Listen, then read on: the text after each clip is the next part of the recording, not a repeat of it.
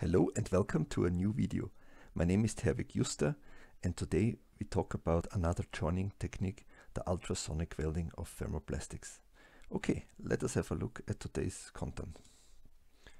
So we will start with an overview of the different welding techniques for plastics.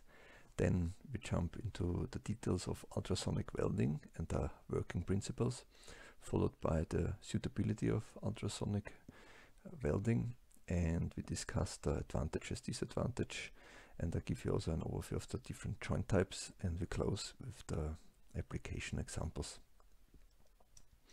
Okay, let's briefly discuss the different welding techniques of plastics. So on the left we see here the, the type of heat input. This can be heat conduction, convection, radiation and friction. Um, in the in the last video on laser welding which I will link below. Um, we focused more on the uh, radiation as, as a type of heat input. And also for example the heat conduction.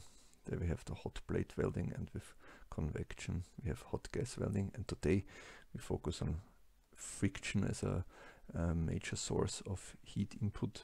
And there we can um, distinguish between inner friction and outer friction and in the inner friction there we have ultrasonic welding and outer friction also called the high frequency welding. We have then the vibration welding. But today's focus is really on the ultrasonic welding using an inner friction of the macromolecules to generate heat.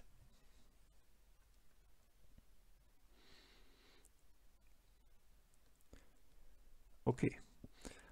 Now we discuss the working principles um, here this video it's, it's a good representation.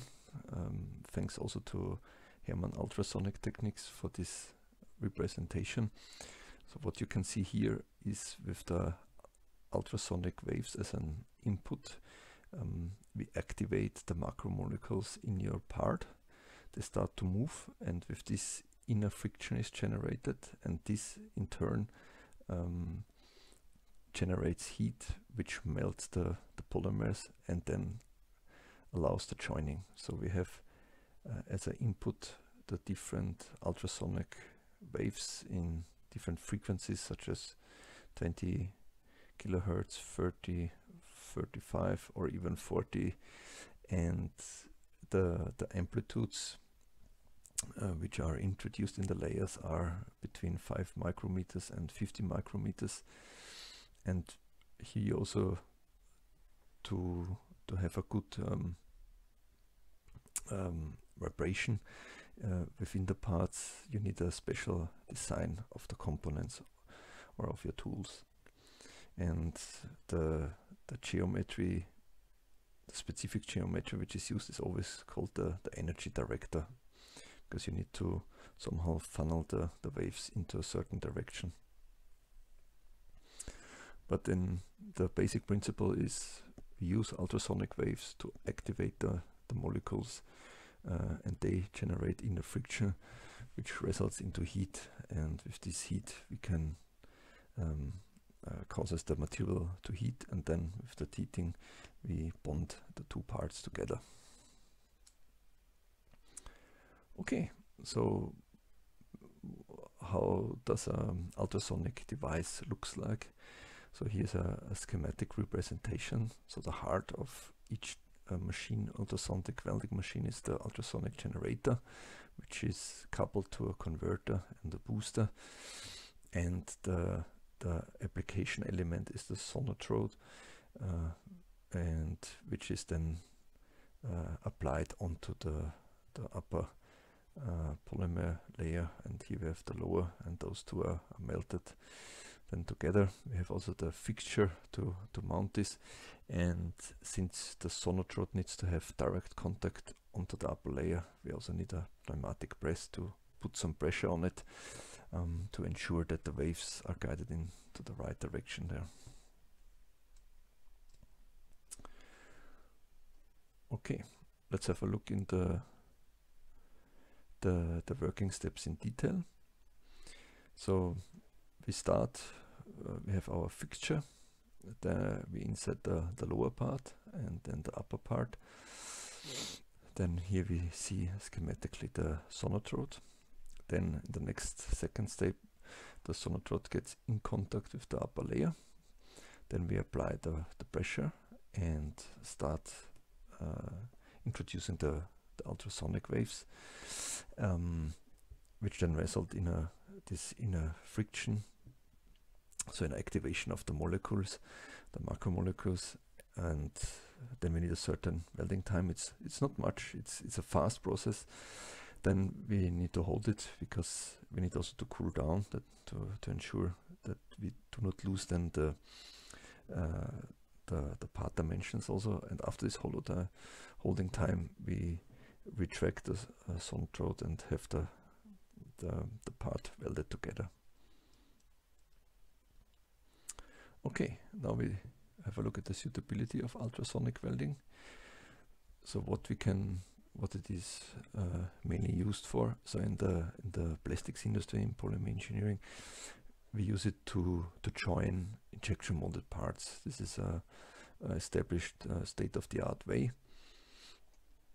However, there are lots of other possibilities. For example, when you have membranes, you can embed them in a certain um, plastic frame and weld it, uh, especially for the um, medical application of membranes. It's really a clean process, the ultrasonic welding. We can also use other materials such as leather, non-woven materials or textiles and, and combine those together uh, and weld them or just different type of materials such as uh, um, welding a plastic with a with a leather element, for example. Or we can also insert different kind of uh, magnets or or other uh, bushing parts to to have here. Um, uh, to not have a, a two component molding but then to insert this afterwards and weld it together so it's a quite versatile uh, welding technique um, and allow not only plastic materials to to, to be uh, welded but also also other materials. Okay, let's discuss the advantages and disadvantages.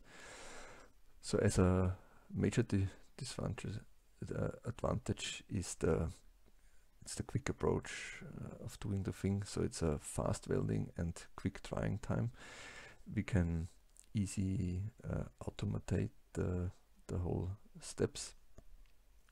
We can produce a clean and precise joint and have uh, clean welding sides itself and we have no post-processing steps involved. Also important is the, the low thermal impact on the materials itself. So it's just in, in a few seconds the, the welding is completed and have just this inner friction of the of the parts. Disadvantages um, for the focus needs to be given at the joint design itself. So it's you, you need specially designed joints, um, especially to have a proper tip contact during the welding.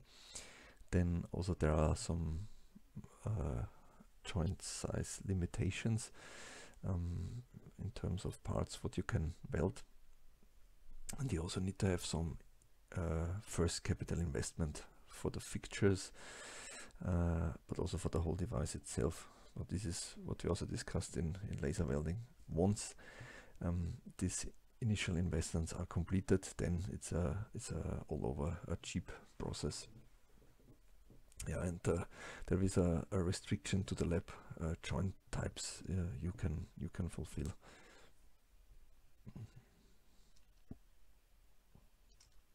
Okay, uh, important part of the um, uh, is the other joint types, and this is what we discuss here now. Give an overview of the of, of some of the joint types. So the most common used is the so-called step joint, and um, its uh, advantage is the easy implementation in the injection molding tool. And you see here uh, the, the base layer has here this step in and here we place the upper layer and uh, this step will be uh, by the use of the ultrasonic will be molten and then uh, we have here this surface will then um, uh, attach to here to this straight surface then we can achieve here high strength and airtight welds and um, the, the advantage is also it has a self-centering function through this uh, shape and it's uh, well used also among the amorphous thermoplastics. Then we have the tongue and the groove joint. So what you can see here in the base layer we have the, the U shape which is our um, uh, groove. And we see here again the, the little step which will be molten and then attach to the to the whole tongue uh, to the whole groove. So this is the tongue and uh, among all the joint types here we can achieve the the greatest strength. And um, also this gap results in a in a um, in, in some kind of capillary effect. So it's really uh, soaks then the the melt in into this uh, uh, groove. And this is also one of the reasons why this uh, greatest strength of this weld is achieved through this capillary effect.